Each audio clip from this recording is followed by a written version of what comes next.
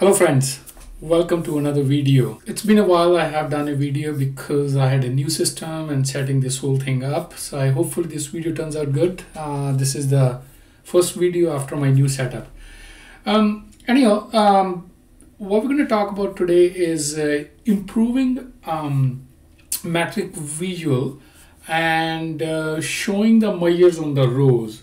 Uh, I know there is a way that in, in Matrix Visual in the format section you can say that you can show on the rows but that turns each measure go on the rows but here what we want is let's say if we're looking at the sales and the previous sales we want the sales as an a KPI on the row.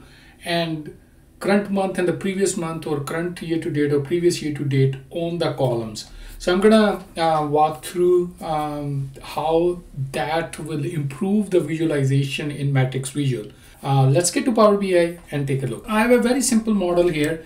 Uh, just a dummy data. What I have is uh, I have a sales, uh, sorry, tickets. I usually have a sales uh, fact, but this one is more on tickets. So I have a tickets tickets open and closed in a month and how many are outstanding which is tickets open minus closed and the close percentage and then we have a previous month tickets open previous month closed and so forth so on. What you see here is we have one two three four four measures for current month like august and four for the previous month right? So if we look at september so we have 281 tickets open this month and 169 open in the previous month. And then we can have some sort of a plus minus variance as well. But i'm not talking about the variance here. I'm just uh, because this is more about improving the matrix visual.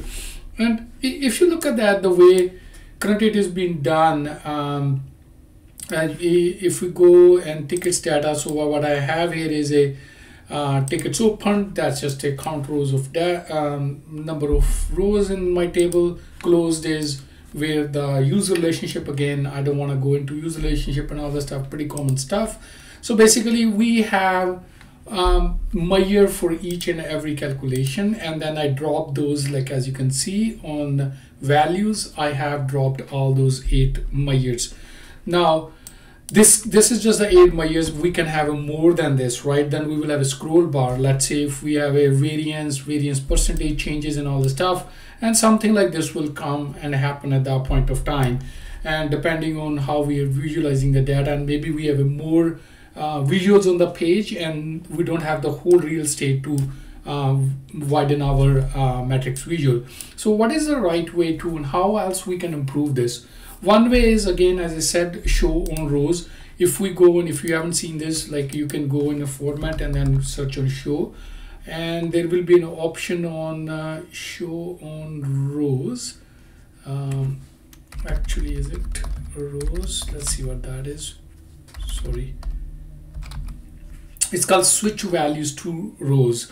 And if I go and click turned on so what happens is now all the measures of course this is now one it's a column uh, but all the measures has now dropped down on um, on the rows. Uh, this seems pretty complicated to um, read. Like if you want to compare like tickets open with ticket uh, previous month tickets opened next to each other and also want the variance this would be very complex to read as well. Uh, so we're going to switch values back to on uh, off turn it off so that the measures are back on the columns. So what is another way to do that? So i'm going to show you guys how uh, I did that. And what we're going to do is we're going to take an advantage of our friend calculation groups. I love calculation groups. I have tons of videos on calculation groups. Do check out those videos I'm not going to go too deep into calculation group in this video but I'm going to show the technique how to do it. But if you really want to learn calculation groups do check out my other videos a playlist on on calculation group. So what uh, actually I already did it. So what, what I did is uh, first I created two dummy measures and I call them and I will show you why I created those. One is called current. That is just a blank no value assigned to it. It's just a blank value and the other one is called previous. Again this is again simply current and previous two measures and it does not have any value assigned to it. And uh, what I did is I created a, a two calculation groups to achieve the result. Let me show you what those two calculation groups are. I'm gonna jump into um, tabular editor um, version 2 again. That's a free version of tabular editor to author calculation groups but again I just want to point out that you can also use now Power BI desktop to author um, uh, develop calculation groups as well. To do so if you haven't explored already how to do that uh, you go to the model view tab. And if you go to model then this is where you can add the calculation groups. As you can see there is already two calculation groups. But i'm more comfortable working with the tabular editor so i will be jumping to tabular editor but you can achieve the same within power bi desktop as well. Um, so what i'm going to do is external tool and go to tabular editor and let's see if yeah okay shows up on another screen. So here it is. What is the two different um, um, calculation groups are. The first one is just the KPIs, what we want to see on the rows, right? Whatever we want to see on the rows. Uh, in this particular case, we want to see the open tickets, closed ticket, outstanding tickets, and the close percentage on the rows, right? So those are the four calculation items I created in a calculation group. So calculation group is called CG KPI. Column name is called KPI and then I have created four different KPIs. If I have more KPIs I want to add, I can add more calculation items. In this particular case, I have only four of these. So one is called open. So what I did in that calculation group uh, item just says, okay, when I use this open calculation item from my CG KPI, then it will return tickets opened measure. I, I, I don't have to create the measures if I really want. I can actually create those measures, write the measures expression in here. But I have created the measures tickets open and uh, the reason is they I might be using it somewhere else as well. Um, so then again for tickets closed. It's just that uh, for close it's um, tickets closed. Uh, again you can label it whatever you want to um, name it. And then outstanding is ticket outstanding and close rate is um, basically open minus closed divided by open. That is our percentage whatever the business formula is. So that is the first thing I, I did. What does this means? Let's take a look. So what I'm gonna do is I'm gonna go back to my matrix visual. I'm gonna remove all these years which I created and now you have just month in here and from my CG KPI, my KPI, I'm going to put that as part of my on the rows. So what it will happen is now we have in a hierarchy. Of course, it will give an error. We haven't added any measure. And uh, because these two things, month and KPI does not have any relationship, that's why we are getting an error. And now what I'm going to do is I'm going to drop my current um, measure, which is again, current is just in a measure is a placeholder. It's a blank I'm going to drop that on my values. So what is going to happen here? So now you see what it says open close outstanding close rates that is per month uh, value what I'm what I'm seeing actually what I'm going to do is let's put this together our original metrics as well um, just to make sure that we are getting the same value just to compare. So those were tickets opened closed outstanding and closed percentage. So these let's keep these four measures for now. So if we look at this our tickets opened is august 169 93 76 and 44.97 now that is showing up on the rows right? So we use the dummy. I can use any measure in here. Uh, the reason behind i use current i will show you guys why i use that. Now what happens is in the calculation item it is forcing it to return the uh, what we told in the calculation item and if we go back to our uh, tabular editor here. Um, so again, if we go back to our tabular editor, so we, each calculation item, what we're saying is it is forcing us to return that measure. And that's why we are seeing those values here in our uh, in, in our each calculation item, open, close, right? Whatever I return in calculation item, that is what is showing. Now, uh, at the same time, I want to now show previous uh, right? If I put the previous here what is going to happen? Let's bring it out here. So it's going to return the same thing right? Because it doesn't matter what year we use everything is returning the same um, it doesn't matter what year I put it in here it's going to return the same value. Now what we need to do is we need to extend our logic that when I'm using the previous I want to it to calculate the previous month calculation, not to show the same return. What, how are we going to do that? So what I did is uh, just to expand this solution, I created another uh, calculation group called CG period. And what this period means is like now I have a, a two calculation item in this one. One is showing the previous month and the other one is showing the previous year to date. And uh, what I'm doing here is this is where the name of that current and previous come in the picture. What I'm telling here is uh, in my month to date, what I'm telling it is like, okay, a, a conditional uh, condition here. If the selected measure is a current, then just return the selected measure. If the selected measure is a previous, and then just go back one, one month. Then again, this is a time intelligence function calculating the previous month uh, value for the same measure. Uh, do check out my time intelligence playlist. I have tons of videos on time intelligence. So basically, what we're telling it is using a selected measure. If the measure name is current, then do this. If measure name is previous, then perform this calculation.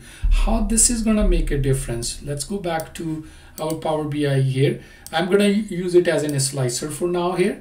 Um, but you can put that as in a as a page level filter or whatever way you want to use it.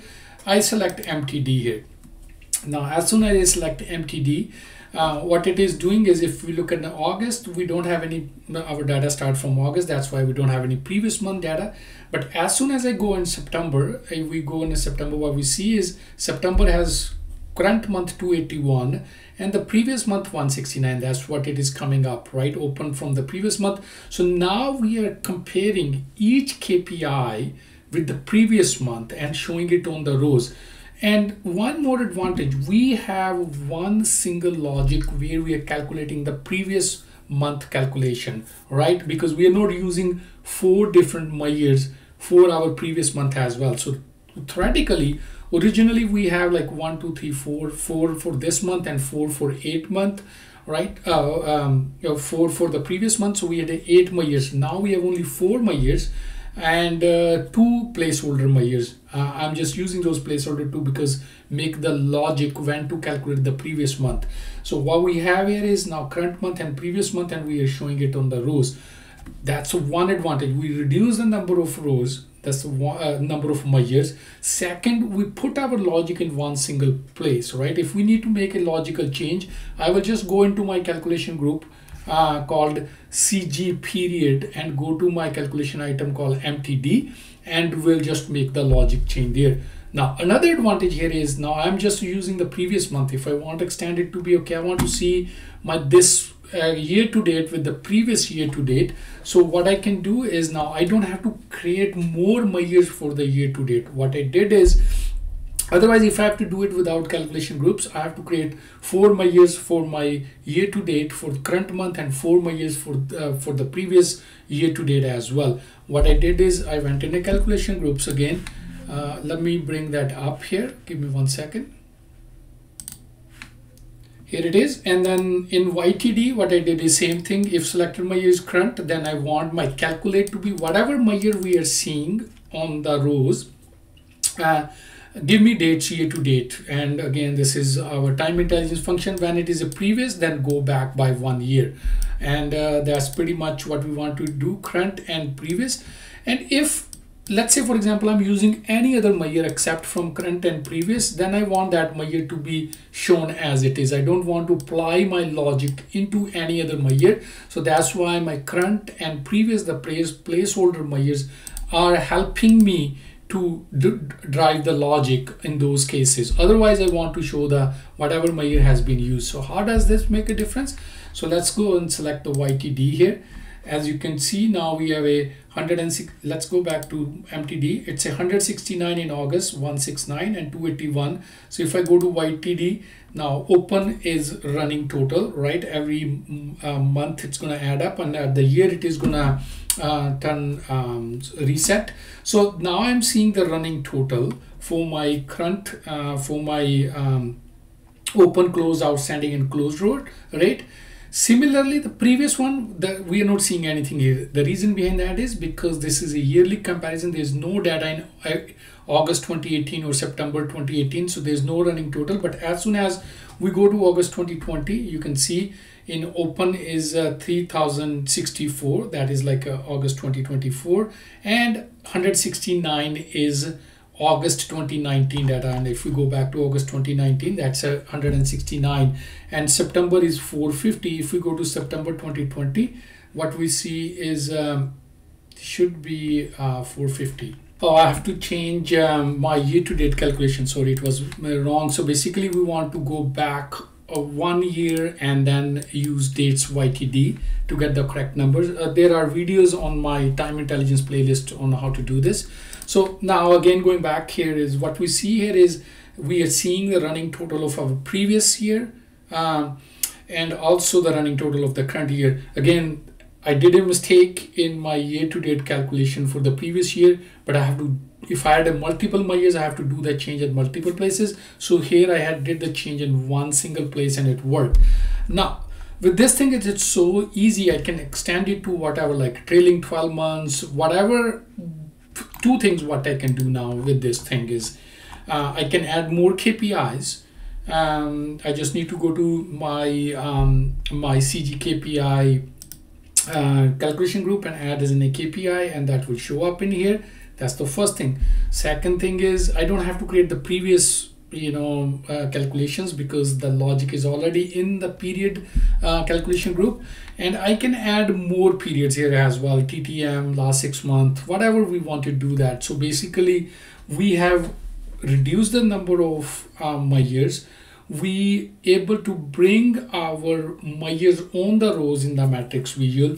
We can add more time period uh, calculations in our um, in our cg period. And we have the logic in one single place where if we want to make any change we will do it one place and it will replicate to everything else uh, I, I personally found this is very very interesting uh, but I, here is something for you guys. Like how about if you guys want to have a current and previous let's say I go month to date and you also want to add a variance and variance percentage. Like if you want to add two more calculation items how you will do that. And maybe I will leave that with you guys uh, to solve uh, something to play with. I will upload this PBIX file in the description of this video. So take that down and try to come out with a solution like how you can have the absolute variance current previous variance and then the variance percentage. Let me know how you will solve that until next video have a great day and make sure to subscribe my channel. Uh, low more stuff is coming up. Uh, now my system is all up and running so i will be bringing low more videos. Until next video have a great day. Thanks for watching. Bye for now. Cheers